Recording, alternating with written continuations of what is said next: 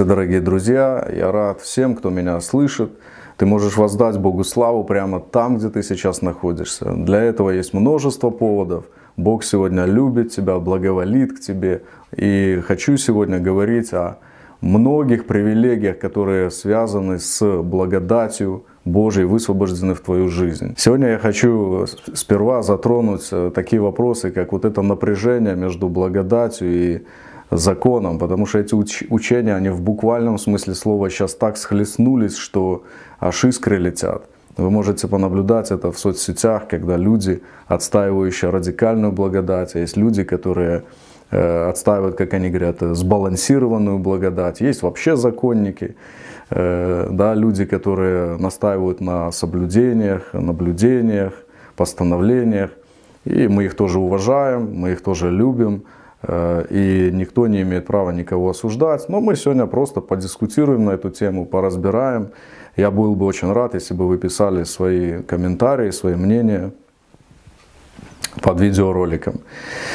И когда речь заходит о законе и благодати, э, важно в этом разобраться. Почему? Потому что из этого вытекает э, привилегия, твоя привилегия, которая дана Богом по благодати. И если не разобраться в этом вопросе, ты можешь просто сам себя, ну как в уме в своем, отрезать от понимания, отрезать от откровения о твоих правах, о твоей, о твоей э, силе, которая тебе дана.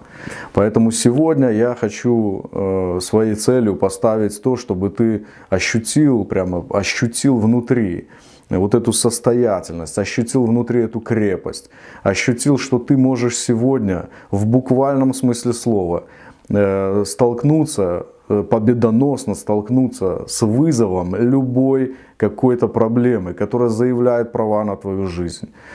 И сегодня есть для этого веская причина. Также мы затронем чуть-чуть э, момент духовной коррупции – коррупция это что такое? Это когда лицо, наделенное правами, использует ее, эти права, эти законные да, полномочия для своих целей. И это сегодня тоже действует сплошь и рядом. И, дорогие друзья, я хочу начать с того, что каждый раз, когда у меня возникал вопрос по поводу вот этого напряжения между благодатью и законом, я всегда вспоминал Э, потрясающую книгу, потрясающую историю из Библии. Это книга Есфирь.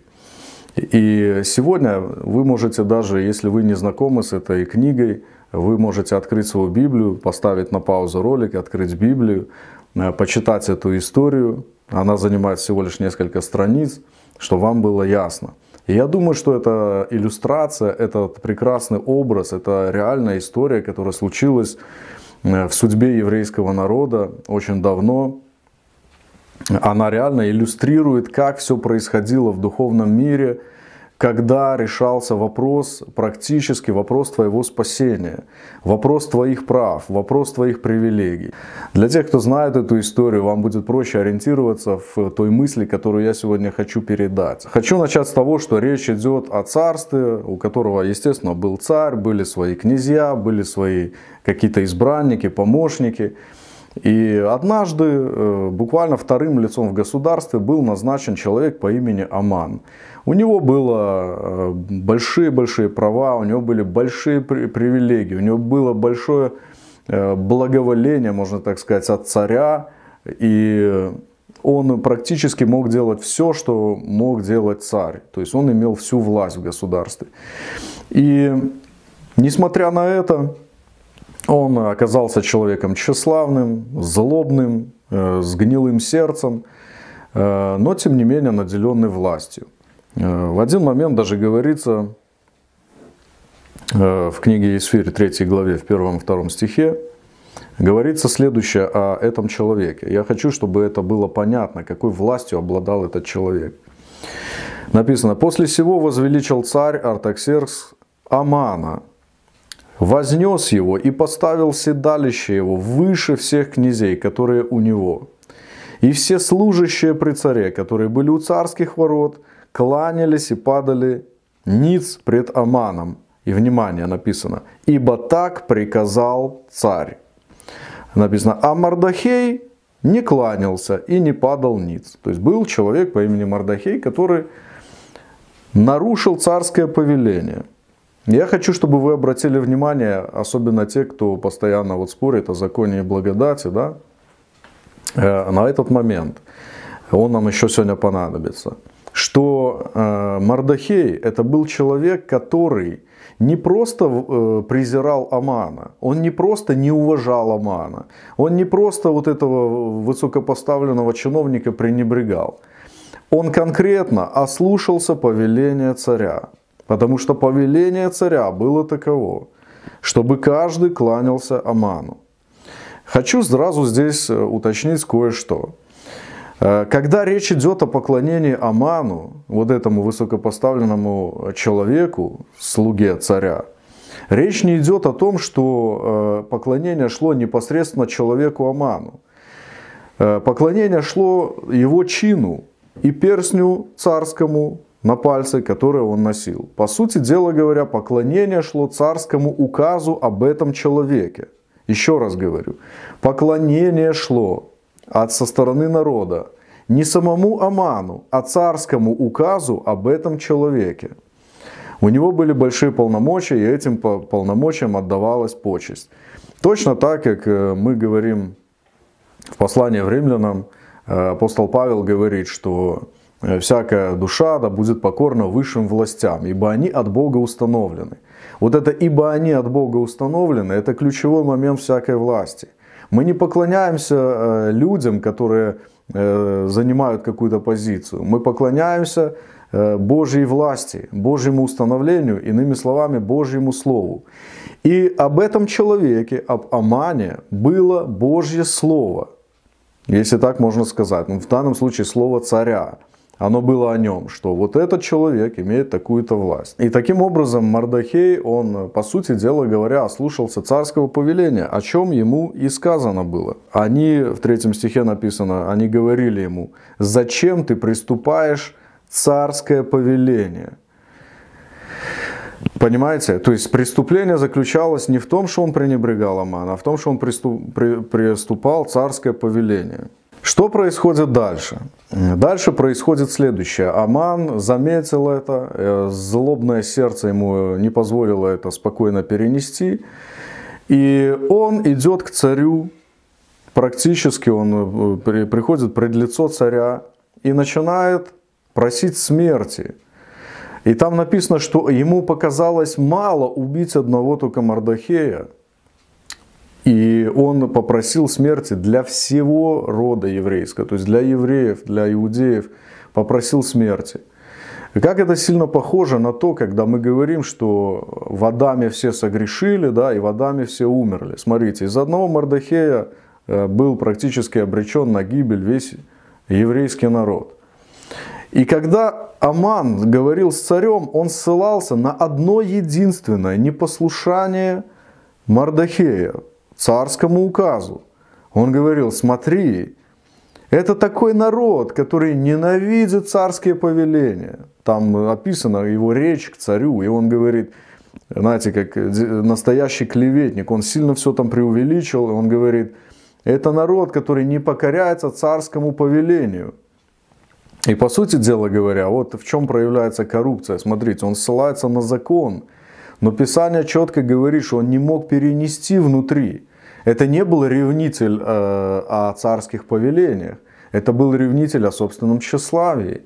И он начинает вот такими ужасными методами да, достигать своей цели.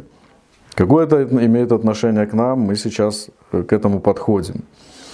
И царь ему говорит, в дальнейшем в книге Исфирь говорится так, такая штука, что Э, э, что повеление царя, оно не могло быть никаким образом отменено. Оно не могло быть каким-то образом переступлено. То есть слово царя, если указ скреплено печатью, ну, перстнем царским, да, э, оно не могло быть никаким образом отменено. То есть оно подлежало обязательному исполнению. Любой, кто не исполнял царский указ, это был просто смертник, обреченный человек. И здесь, э, э, значит, Аман приступает к царю и говорит, не исполняют твое повеление. И это опасно для нашего царства. Это опасно. Он начинает выставлять евреев как бунтарей, там, непослушных людей. И самое интересное, что у него был для этого один единственный законный повод. Как бы нас все время это возмущает, да, мы говорим, ну почему один Адам что-то там натворил, а все люди, э, все люди отвечают. Вот в этой истории была э, такая же аналогия. И законный повод, именно законный повод преступления повеления царя давал возможность применить меры да, к еврейскому народу. Что злобный Аман и использовал. Мы также читаем в Писании, что э, грех, он берет повод от закона. То есть смерть, грех, все, что касается нашего, э, нашей погибели, там, да, которую, на которую мы были обречены, это все было не просто Э, знаете, какое-то самодурство сатаны. Э, он взял повод конкретно от закона, от царского повеления. Потому что написано, что расплата за грех – смерть. И преступление закона порождает вот эти последствия. Дальше мы видим то, что э, была назначена дата окончательной погибели всего еврейского народа. Что было сделано? У Амана был перстень, позволяющий скреплять от имени царя любое решение – то есть вот она преимущество, да, преимущество, когда у тебя есть возможность употреблять царские повеления. Оно подлежит обязательному исполнению. И вот Аман, что он делает? Он скрепляет этим перстнем указ об уничтожении евреев, назначает дату и говорит, это повеление оно говорило, разграбить, убить, предать полному уничтожению. Как мы говорим, вор приходит украсть, убить, и окончательно погубить. Я хочу, чтобы вы сегодня ловили эти параллели. И вот дальше история развивается так, что э, царица Исфирь, она узнает об этом, она сама принадлежит еврейскому народу, то есть, э, по сути, если исполнять полностью э, вот эту злобу Амана, скрепленную царской печатью, то Евсирь тоже подлежала смерти.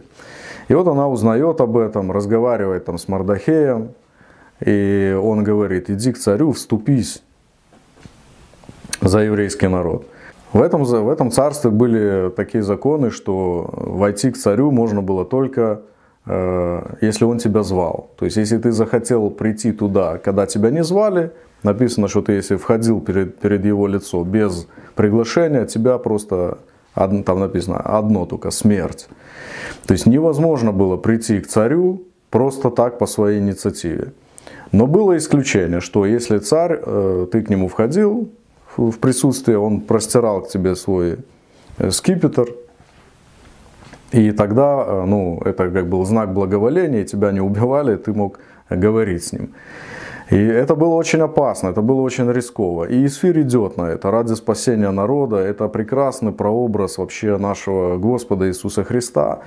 Э, когда он э, вошел да, ценой своей жизни, ценой того, что отдал свою жизнь, вошел э, в присутствие Божие, в небеса со своей жертвой да, и нашел благоволение для всех нас. И смотрите, Есфирь, она, рискуя жизнью, она входит в присутствие царя, получает это благоволение, получает возможность говорить в защиту еврейского народа. И она говорит, вот такая ситуация, царь. С одной стороны, конечно, есть твой, твой указ. С другой стороны, есть злобный Аман, который взял этот указ и употребил для себя, чтобы решить знаешь, свои амбиции, решить свои вопросы, ну, знаешь, напитать свое тщеславие. И как это работает? Вот мы сегодня говорили за коррупцию. Вот так оно работает, дорогие друзья. Вы понимаете, что человек, которому дана власть, он может э, употреблять ее со злобным сердцем. Есть определенная власть, которая уже находится на человеке, у которого обнаруживается внутри беззаконие, обнаруживаются злобные умыслы, корыстные какие-то вещи. И тогда он употребляет это. Он может вредить, он может просто даже наносить ущерб народу. Божьему народу. И вот мы подходим к самому главному, э, к центральному моменту. Каким образом совершается спасение еврейского народа? Я хочу, чтобы это сегодня просто, когда, каждый раз, когда у тебя будет возникать вопрос, вот, э, знаешь, твой какой-то приговор, о котором ты знал, что он есть из-за грехов, из-за там преступления Адама, да чтоб там не было. Каким образом это сменяется на приход благодати в твою жизнь? Здесь четко написано, что происходило за кулисами. Вы знаете, что евреи, э, написано, что когда узнали об этом указе, что они подлежат уничтожению, написано, что ну, там есть такая фраза, где написано, что весь столичный город, стольный город Сузы, да, он был в смятении. И я хочу сказать сегодня, что на самом деле решение царское, э, знаете, можно его воспринять, как будто царь это сидел какой-то э, странный человек, такой безвольный, который перстнем своим разбрасывался, куда ни попадя.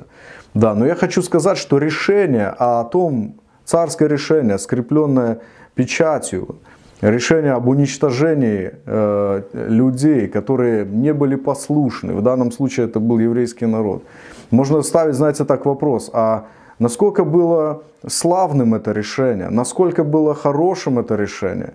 И вы знаете, что Библия, она называет даже служение осуждения, которое когда-то было при Моисее, когда он принес эти заповеди, называет его славным. И я хотел бы сегодня спросить, а на самом деле, а что славного в служении осуждения? Что в нем славного? Я лично сегодня нахожу вот что славное. Славное то, что Бог проявляет свою справедливость. Есть э, служение справедливости, которое и есть служение закона. И оно действительно славное. Ведь что плохого в справедливости? Но как в Писании написано, что милость, она превозносится над судом. То есть есть служение большее, служение лучшее. Это служение оправдания. Оно лучшее. И поэтому Э, когда вопрос в ситуации с Исфирью сталкивался с тем, что каким образом отменить эти приговоры, вынесенные злобным Аманом с использованием своей законной власти, каким образом это сделать? Есфирь вошла к царю, она говорит, «Э, царь, я и мой народ, мы проданы, проданы просто вообще ни за что, проданы смерти. Апостол Павел, когда говорит об этой ситуации уже в Новом Завете, он говорит, «Я был платян и продан греху». На самом деле, когда Аман пришел просить смерти для евреев, он предложил серебро. Он говорит, царь, я пополню казну, я забью серебром твои эти э, хранилища денежные. Только дай мне разрешение уничтожить этот народ, который является бунтарем против тебя дай мне это разрешение. То есть он как будто выкупил право, лицензию получил на убийство людей, на грабеж их, используя прежнее царское повеление о том, что люди должны были поклоняться Аману. Один единственный раз, один единственный человек не поклонился Аману. И Тут же Аман использовал это, то есть взял повод от этого непослушания, взял повод от закона, что все-таки царское постановление было для того, чтобы причинить смерть всему народу. И каким образом это относится к тебе? Когда ты читаешь заповеди, э, и когда ты читаешь их с точки зрения э, справедливости – ты понимаешь момент, что ты даже внутри можешь ощутить, если ты применяешь эти заповеди к себе. Я хочу обратить твое внимание, если ты применяешь эти заповеди к себе, скорее всего, что в твоем сердце возникнет точно такое же чувство, как возникло у всего народа в этом царстве, когда они узнали о том, что наказание за вот этот грех, ну можно так сказать, за вот это непослушание Мардахе была смерть всего народа. И поэтому сегодня вот номер один, что я хочу тебе сказать, что с какой стороны бы ты не подошел к славному служению справедливости Ветхого Завета, никогда в жизни, дорогой друг, ты не ощутишь внутри радости. Еще раз хочу сказать, вы знаете, что решение царя о восстановлении справедливости по поводу его слова, он дал указание, что все поклонялись Аману. Э, э, Мардахей ослушался его слова. Царь восстанавливает справедливость. Скажите, восстановить справедливость – это славное служение. Я хочу сказать, это славное служение. Знаешь, можно даже задать вопрос, а что славного в уничтожении людей? Что славного в том, что кто-то умрет из-за непослушания? Славное в этом есть только одно, что справедливость будет восстановлена. Я думаю, что каждый из вас сталкивался в жизни с какой-то несправедливостью. И вдруг, когда наказывали твоего обидчика, когда твой обидчик терпел поражение, многие люди, они радуются, и все радуются. Мы говорим, о, справедливость восторжествовала, справедливость восторжествовала. Не задумываясь над тем даже, что есть служение более славное, это служение милости Божьей. И об этом говорится в Писании. И поэтому вот этот приговор, он не мог быть отменен. И когда меня сегодня спрашивают, говорят, вот в Библии написано, что отменяет первое, чтобы постановить второе. Э, как ты говоришь, что не отменен? Я сегодня говорю, что ничего не отменено. Ничего не отменено. Кто-то может сейчас возмутиться и сказать, ну ты вообще все, ты законник, ты попираешь благодать. Я хочу сегодня сказать, дорогие, вот сейчас надо меня услышать. Слово «отменен» э, не может быть применимо к тому, что называется вечным. Когда Бог давал свой закон, Он имел в виду его вечную природу. Он не может быть прекращен точно так, как не может быть прекращено твое существование, ибо ты вечное существо. Точно так, как не может быть прекращено существование э, сатаны, Люцифера, потому что он вечное существо. Но что может быть применено, что могло бы называться отменой закона для постановления второго, благодати? Так вот в этом слове отмена, дорогие друзья, что вижу я? Метод, которым отменяет Бог, если так можно сказать, отменяет свои прежние решения – не нейтрализация решений, ибо решения Бога вечные, от начала и до конца, они все вечные. Единственный способ отменить прежнее решение – это поглощение более широким и более сильным, более славным служением или решением предыдущего. Вот это Библия называет отменой первого для того, чтобы постановить второго.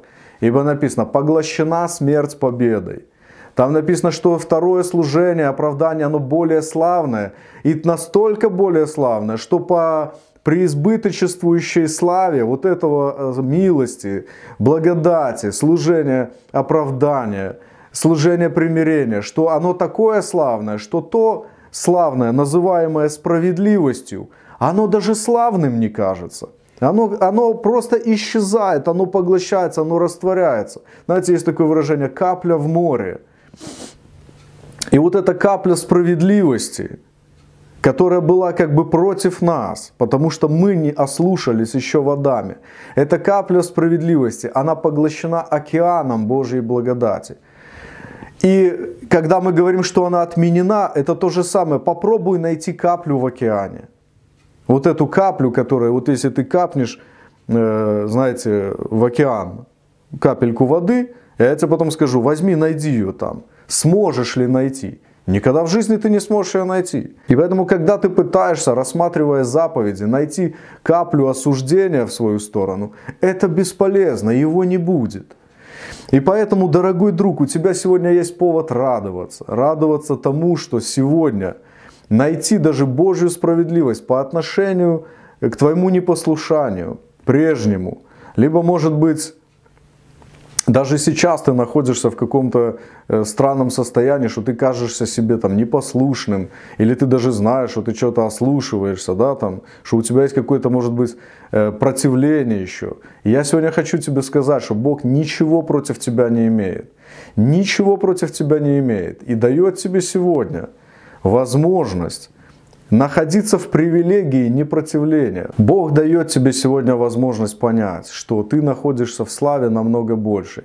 Люди, которые по-прежнему стараются найти какую-то славу Божью в заповедях, это, извините, я, друзья, хочу прямо сказать, если ты сегодня хочешь найти славу Божью в заповедях, э, в постановлениях закона, э, который, как написано, он был против тебя, который регулировал твое послушание или непослушание, и я вам хочу сказать, что вообще не этим нужно заниматься, дорогие друзья. И вот смотрите, что тут произошло. Э, когда Исфирь говорила с царем, царь ей прямо сказал, ты знаешь, мое решение, оно не может быть отменено, но я могу вынести другое решение. И для того, чтобы... Смотрите, что происходит. Он говорит, вот тебе перстень. Он зовет Мардахея, зовет Исфирь, дает им перстень и говорит, вы сами можете об иудеях вынести любое решение. И тут они столкнулись с таким вопросом, думают, интересно. Есть решение, из-за которого народ обречен, какое можно вынести решение для того, чтобы народ был спасен и благословен. И он говорит, прежде всего, прежде всего, там написано, вышло слово от царя и накрыли лицо Аману. Прежде всего разобрались с инициатором этого зла. Как написано, что сатана, Иисус говорит, я видел сатану, спадшего с неба, как молния. Амана э, повесили, у него отобрали его имение, всех его наследников, сыновей казнили. То есть все, лишен будущего, лишен каких-то перспектив. Но есть тайна беззакония, есть тайна злобы. Вы знаете, от того, что ну, э, э, Аман был убит, нейтрализован и лишен власти – от этого злоба его высвобождена через вот это постановление. Она не могла быть остановлена просто так. Она не могла бы просто исчезнуть. Точно так, когда мы говорим сегодня о том, что греха нет, э, или там мы говорим, что сегодня нету никакого осуждения тем, кто живет по духу. Аминь. Но зло по-прежнему существует в мире. Зло по-прежнему, демоны, да, там, болезни, вы можете это видеть своими глазами, вы можете это чувствовать э, по, своей, по боли своих ближних, что это все еще работает, что угроза их э, э, погибели, она существует. И поэтому Мардахей с Исфирю, они в этой ситуации принимают следующее решение. Они говорят, а давай сделаем вот что – у Амана есть последователи, да, у него есть э, те, кто ненавидят евреев, они, ну, Божий народ. У него есть, так, я их так называю, амановцы по всей земле, по всем областям существовали вот эти враги Божьего народа, которые вредили. В данной ситуации ты своим врагом можешь смело назвать демонов, э, бесов, там, да, то есть демонические духи, которые причиняют в жизни Э, так как в Библии написано, в Новом Завете написано, что они причиняют э, ущерб, они могут причинять ущерб. Как Павел говорит, что дабы не сделал нам ущерба сатана, ибо нам не, не безызвестны его умыслы. То есть по-прежнему этот умысел Амановский, он бродит в мире, он бродит как, как рыкающий лев, ища кого поглотить. И кого он может поглотить? Он все-таки ищет еще поглотить. Он ищет причинить ущерб. И для этого сегодня э, я привожу в пример, как действовали вот э, эти персонажи. Они вынесли решение о том, что э, весь еврейский народ, все иудеи, они вправе собраться и противостать врагу. Конкретно пойти и уничтожить тех, кто против них. Разграбить их имение, то есть дается такое же повеление, только еще большее. Говорится о том, что все князья областей, все правители, они обязаны были евреям в этом помогать. Потрясающе, да? То есть, как вот эта фраза, все содействует ко благу. Вот это то, что произошло с тобой в духовном мире. То, что произошло по отношению тебя в духовном мире. От царя, от нашего Господа вышло повеление – чтобы все князья, чтобы все цари, все, все, кто только есть, начальство и власти в духовном мире, они помогают сегодня тебе разбираться с твоими врагами. Они сегодня содействуют твоей победе, окончательной победе. Кто-то может сказать, послушай, окончательная победа была совершена. Через жертву Иисуса она была полностью решена. Сто процентов.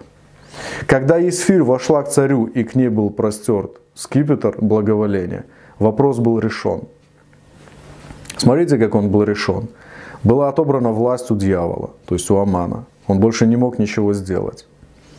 Это первое. Второе, что было сделано, что власть перешла в руки Божьего народа. Э, послание апостола Павла говорит вот о чем, что какая польза вообще и какое преимущество, послушай меня внимательно, быть иудеем, ну иными словами, быть э, Божьим народом. И он говорит, великое преимущество во всех отношениях, но особенно потому, что им доверено Слово. Вот, дорогой друг, я хочу, чтобы ты сегодня это понял. Твоя основная привилегия особенно в том, что тебе доверено Слово. Вот этот перстень Божий сегодня, Он в твоем распоряжении. Он сегодня штампует решения, скрепляет все решения Божьи на небесах по отношению твоей победы. В чем заключается победа над Аманом? Или в нашем случае, в чем заключается победа над дьяволом? Победа над дьяволом, она заключается в том, что как он лишен был власти. Он был лишен возможности выносить какие-то решения. Я тебе хочу сказать, когда у него не стало перстня, он был лишен всякой власти. Он был лишен всякой власти. единственное, что он успел сделать, это запустить свою злобу в мир, подобно Аману. Но сегодня у тебя есть привилегия. Сегодня обладатель этого перстня – это ты. И я тебе хочу сказать, что в отношении тебя вынесен ряд потрясающих постановлений. Иисус э, говорит, я даю вам власть наступать на змеи и скорпионов. Вот оно. Когда Мардахей получил перстень, он говорит, давай сделаем так, чтобы любой наш человек, чтобы они все там собрались в одно собрание, чтобы они выступили против врагов, прям в один день, смели их. И знаете, что когда это постановление было вынесено, написано, что гонцы пошли во все пределы царства, во все области и несли эту весть. Народ Божий, иудеи, от царя вышло постановление, скрепленное печатью. Нашлась личность, которая э, ценой своей жизни вошла в присутствие царя. Получила для вас это благоволение.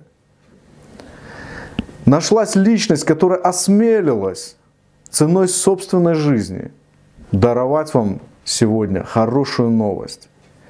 Враг ваш все еще жив, но силы у него больше нет. Злоба она еще есть в мире, но славы Господней полна вся земля. Вы можете взять и наступать на своего врага.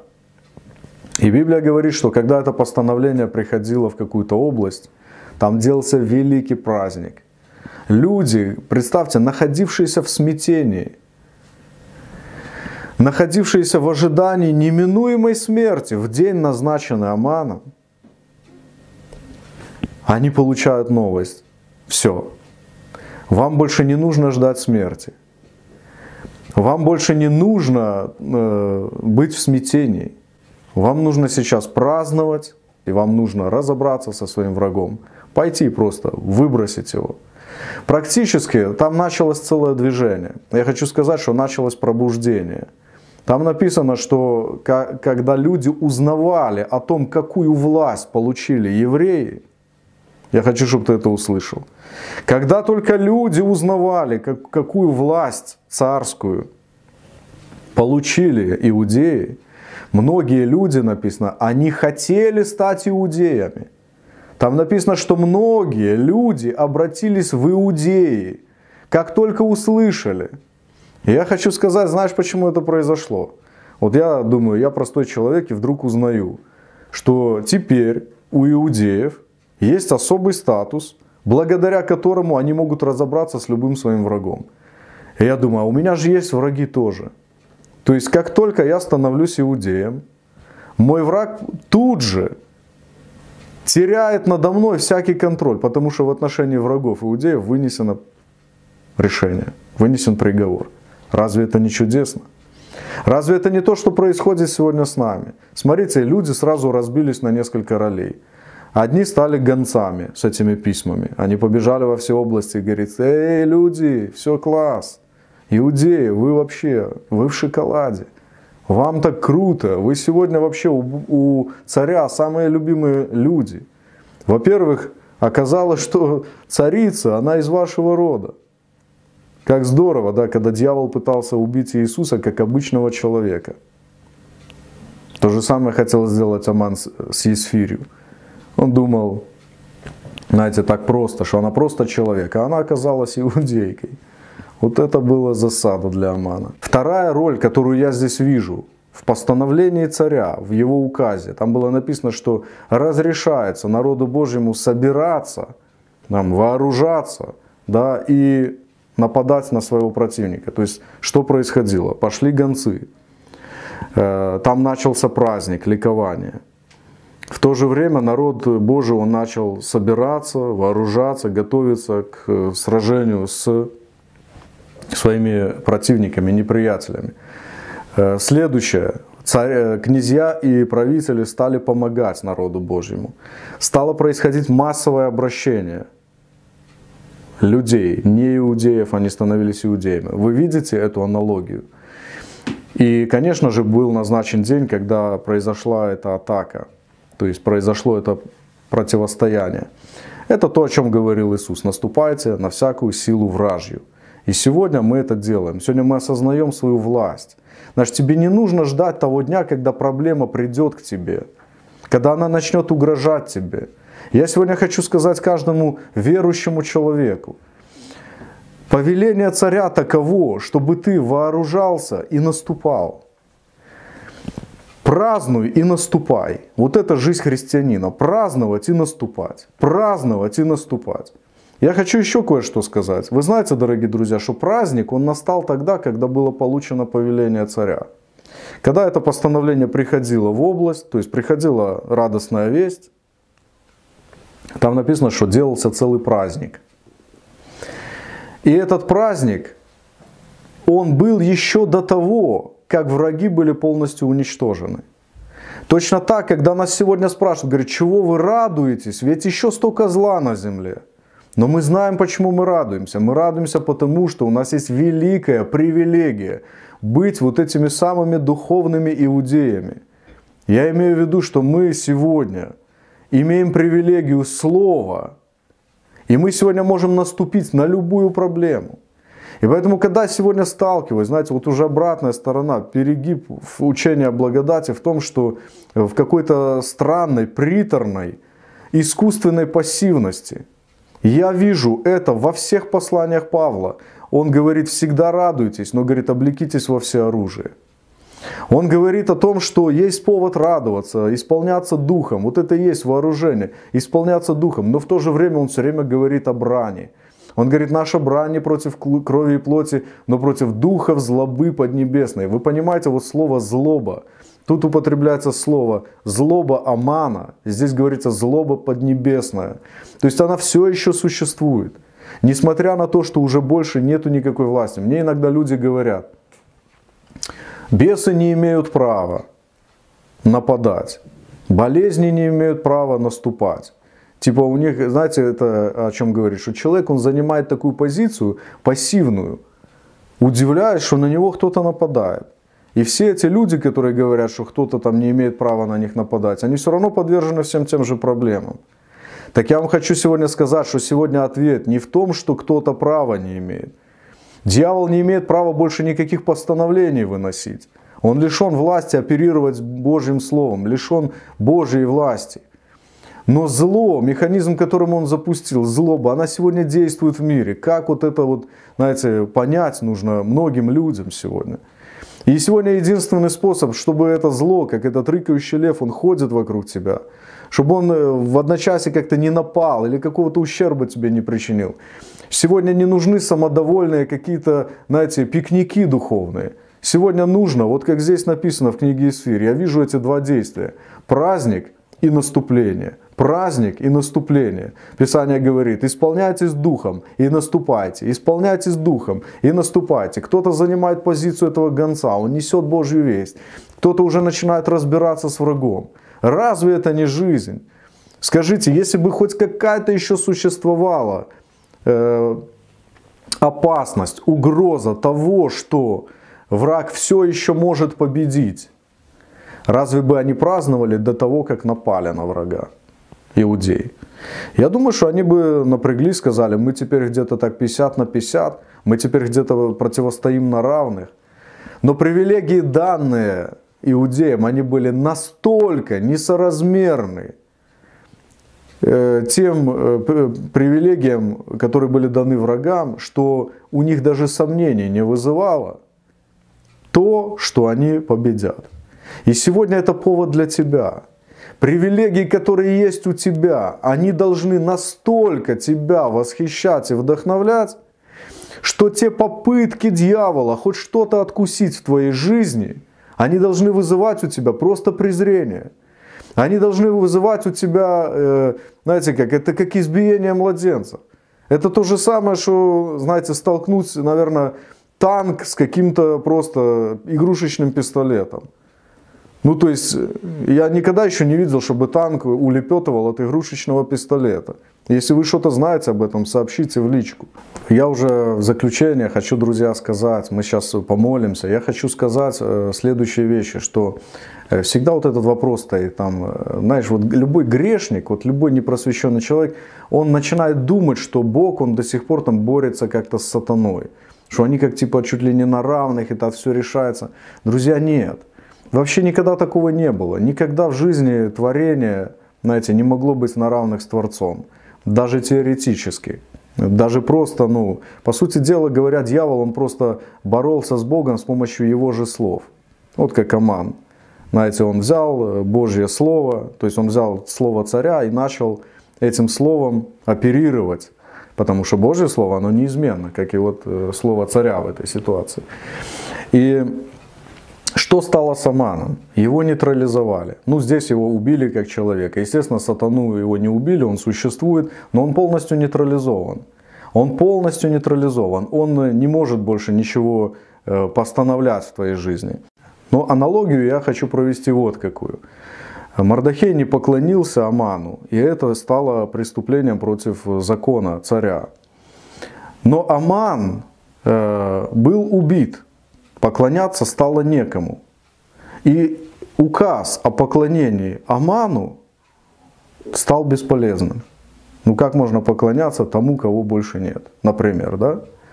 Точно так же, дорогие друзья, когда сатана был лишен власти, когда сатана был лишен власти вторым царским указом, да, что произошло? Необходимость в том, чтобы исполнять первоначальное повеление, которое было, как написано, против нас, оно исчезло. Другими словами, когда мы были проданы, как написано, мы были проданы греху. Но теперь, когда Бог этот грех убил, мы говорим, греха больше нет. Мы больше не должники. Мы больше не должны поклоняться этому. Мы больше даже не должны почитать грех за что-то, что мы, с чем мы должны разбираться. Представьте, в этом вопросе, конечно, сильны, э, очень сильно те, которые отстаивают учение о радикальной благодати. Греха нет. Хватит ли у тебя сегодня смелости сказать себе, греха нет, греха нет. И хватит ли у тебя сегодня смелости пойти и добивать всех носителей злобы Амана, носителей демонических духов. Даже в миру говорят, дорогие друзья, что лучшая защита это нападение. Если ты еще чувствуешь, что вдруг в твоей жизни тебе хотелось бы от чего-то защититься, тебе сегодня царское повеление, повеление от нашего Отца, повеление «наступай на змей, на скорпионов, на всякую силу вражью, бей первым, грабь первым. Все, что было у тебя отнято, все, что было у тебя похищено дьяволом, ты можешь, как написано, взять назад, разграбить, отнять все, что у тебя забрал сатана. Я говорю, конечно, о духовных вещах, чтобы кто-то не подумал, не, не понял меня слишком буквально. И поэтому, когда ты получил эту радостную весть, вот он момент. Еще, может быть, какие-то враги маячат в поле твоего зрения, но ты получил радостную весть. Изучи ее хорошо, дорогой друг. Изучи радостную весть. Там ты найдешь все свои права и привилегии. Сегодня этим нужно заниматься. У меня такое ощущение, дорогие друзья, что сегодня люди, они больше изучают указ, скрепленный печатью Амана, об их уничтожении. Они смотрят, так, как и знаете, глупость заключается в том, что они в этом указе пытаются найти для себя спасение. Как бы это нам спастись от несправедливости? Вместо того, чтобы изучить указ, скрепленный печатью Божьей от в отношении привилегий в твоей жизни. Я сегодня вдохновляю тебя, мой дорогой друг, чтобы ты вот изучил привилегии Божьи, посмотрел на свои проблемы, возрадовался и сказал, сейчас мы с этим порешим раз и навсегда. И займи празднично наступательную позицию. Две вещи. Празднуй и наступай. Я молюсь сегодня за тебя. Во имя Иисуса Христа я благословляю твою жизнь. Я благословляю Твой дух, принимающий это откровение. Благословляю Твою душу. Во имя Иисуса Христа, да будешь ты наполнен смелостью Божией. Да будешь ты полностью адекватен и сведущ в привилегиях Божьих, высвобожденных на твою жизнь. Я благословляю твой разум. Я благословляю твое сердце, благословляю круг твоей жизни во имя Иисуса Христа. Пусть сегодня радостная весть, сила Христового воскресения мощно проявится в твоей жизни. Да будешь ты наполнен Духом Божьим. Да будешь ты с презрением смотреть на всех врагов твоей жизни. Во имя Иисуса Христа. Да свершится победа Божья физически, окончательно, явно, видимо в твоей жизни. Спасибо тебе, дорогой Отец, за каждого, кто слышит сейчас, за каждого, кто сегодня осознает и принимает эти слова и благословения в свою жизнь. Дорогой друг, подписывайся на мой канал, рекомендуй к просмотру своим друзьям, потому что это слово, несущее свободу, слово прямо от престола благодати. Благословляю тебя, мой друг. Аминь.